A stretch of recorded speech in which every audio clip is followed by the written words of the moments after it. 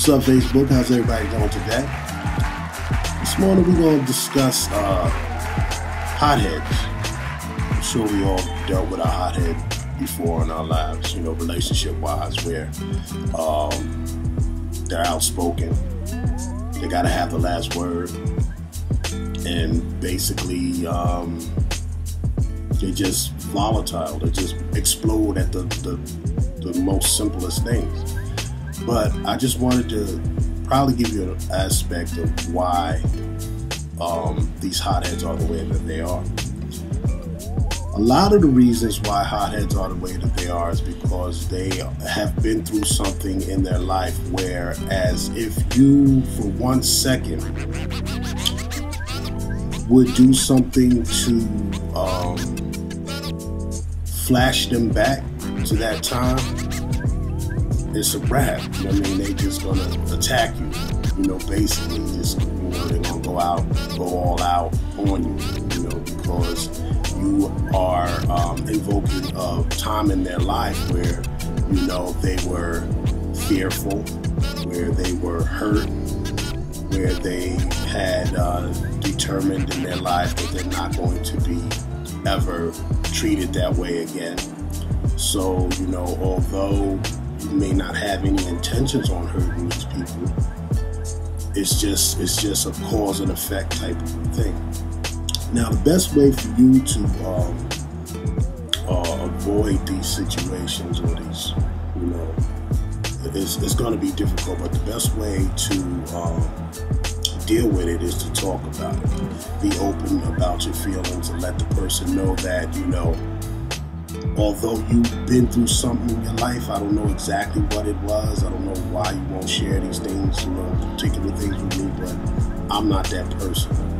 You know, give me the benefit of the doubt. If I if I'm talking to you, it's basically because um, you know there's something that you did that struck me as odd, and I just wanted to talk to you about it. You know, there's no reason for you to fly off the handle or, or you know come at me any old type of way.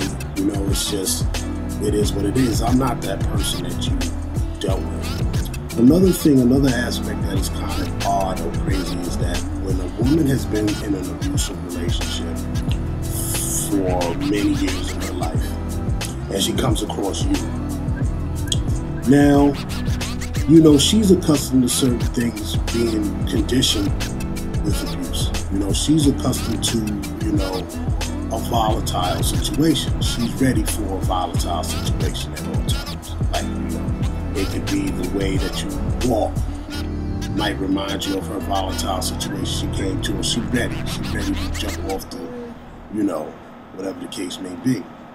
But also, one thing that I've noticed is that they can be in a relationship for 20 years of abuse but can't stand being in a relationship for more than three hours after having their first argument with the guy of their dreams. And I then and, and they, they are quick to quit. They, that's it. They, they're, they're out. They're just quick to quit. I don't want nothing to do with it. Um, I'm out. You know. And this is because, you know, and it was brought to me and you know I was enlightened by a conversation before it was brought to me. The reason why is that they placed all of these ambitions and dreams upon you. And as soon as the first situation happens, kind of let them down to the ultimate. Like, oh my God, he's just like all the rest. I'm not going to deal with it. He's not to hurt me again.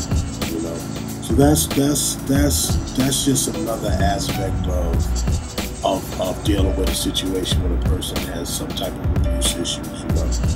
But um, on that note, um, I just think that a lot of people need to have more patience and you need to discuss your issues uh, thoroughly. You need to be honest with yourself. You have to understand that you're a hothead and that you know you need to develop a little more patience when dealing with people who aren't what you were accustomed to know, have some patience. Both sides need to have patience. That's what's going to make the situation a lot better. All right, I'm about to get hit this street, get some um, workout on, and I hope everybody's having a blessed day.